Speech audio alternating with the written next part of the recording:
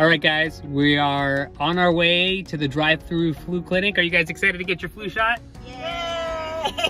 They're very excited. Hello, everybody feeling well? Yes. Yes, we Are are. you here for a flu shot? Mm-hmm. Yes, we are. Are you guys ready for your shot? You have any Let's- fever? No fever. No fever. Allergic to eggs? No. Guillain-Barré syndrome? No. No. And have you had a flu shot before? Yes. Yes. Ooh, you're good. Bye. You got this, dude. You're gonna be on Facebook. Yeah. yeah, it's so fast.